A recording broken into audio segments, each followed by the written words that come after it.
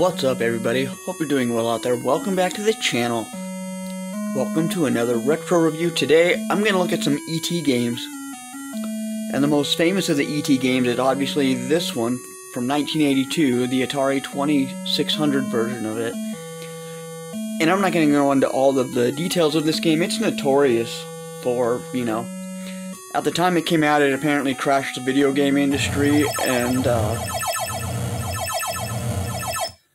there's the urban legend that the game wound up in a landfill in New Mexico because uh, they just couldn't ship it. It was garbage. You'll have to look it up. I'm not going to go into too much detail about the all of the urban legends and stuff about this game. But the premise is, yeah, you land and you got to find three pieces of a phone. Damn it. And yeah, you get one button since it's the Atari 2600. So I try to get out of these holes. Here we go.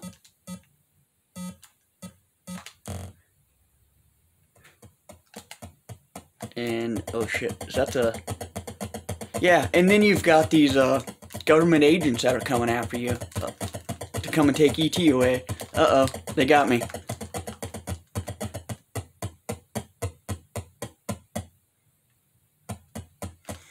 So yeah, this is basically ET on the Atari 2600, but believe it or not, this one isn't uh, the worst game. I know it's notorious for being garbage, but there are a lot worse games than this, and we're going to check those out right now.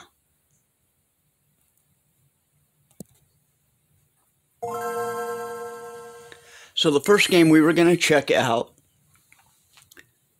is E.T. the Extraterrestrial. This game came out in 2001, and it's by NewKidCo, and this company is came out. They're a uh, sub company of SquareSoft. They actually ended in 2005, and at the time they had properties to like Dora the Explorer, uh, Winnie the Pooh, and some of the Sesame Street gangs, as well as E.T. And from what I've seen from this game, it's basically a modernized remake of the Atari 2600 version. So let's check it out. Um, looks like you can use passwords on it. We'll play it on normal. In this level, we play as E.T., so I'm guessing you can play as E.T. or Elliot. I don't know 100% too much about this game. We're an alien botanist traveling to a different world to study the plant life. So you just arrived on a small planet. You must begin your study and collect samples.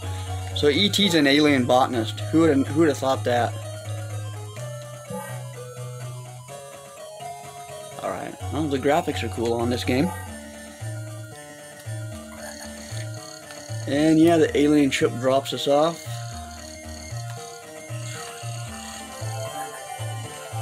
And looks like I can, uh, yeah, I can shoot my finger and warm my heart up. I don't know if that's, uh, taking life off me or anything.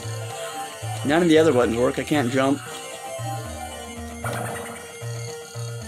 Guess I can absorb. I'm a botanist, so this has a very Sega Genesis kind of feel to it, even though it's a, what is it, Game Boy Advanced? Ooh, what was that, a frog? Yeah, I literally have no idea what I'm doing with this one.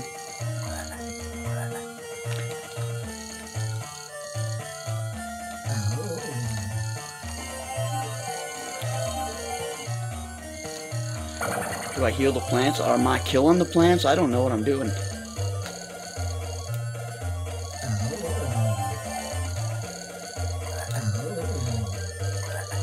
See, at least the, at least the Atari 2600 one made sense. Maybe it's just me, but this one's uh, yeah, this one's a little out there. This company also actually made two other ET games, and we're gonna check those out.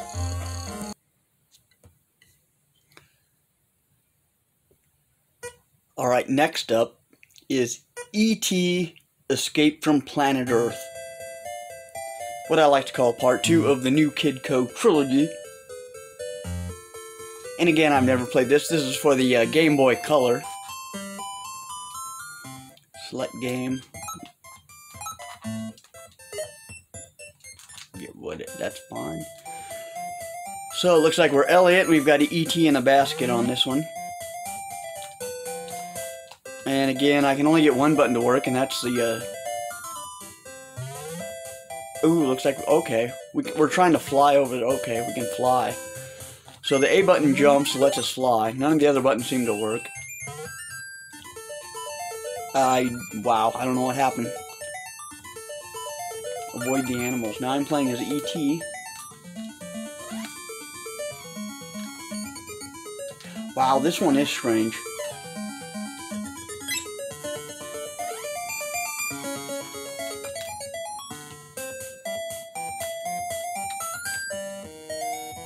Wow, um...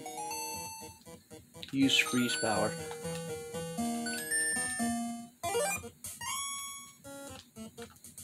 How do I use freeze power? Oh. Yeah, I have no idea what's actually going on with this one. So far, I'm liking this better than the other two games. This is, uh, so far the easiest one. Almost like kind of brain dead one, I guess. Um...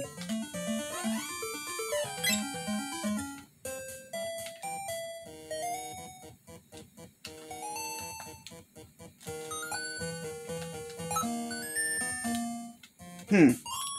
Yeah, so that's this one for you. But there is one more I wanted to check out real quick.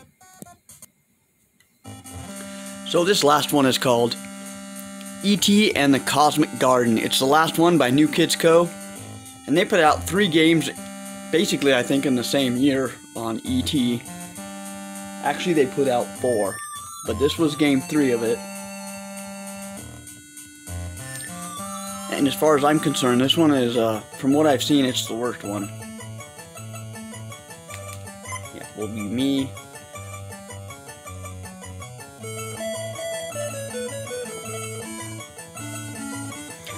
Again, we land. This time it looks like we're landing in the ocean. I don't know if that's relevant.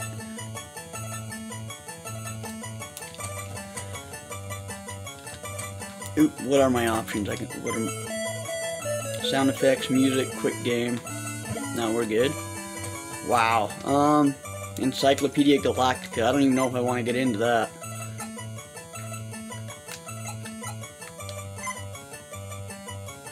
Okay, this is just telling you all the uh, different things you gotta do. That kind of makes sense. Yeah, and then you go around completing all of those said tasks, I think. If I can get down there.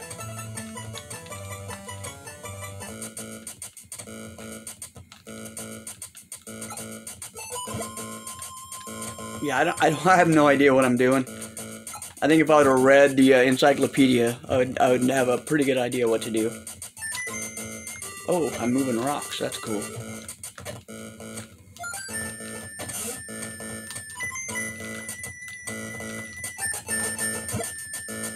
Yeah, I have no idea what's going on right now. Yeah, this game would definitely have to take a, a uh, full-on, almost a review of its own to process all the stuff that's going on with this one.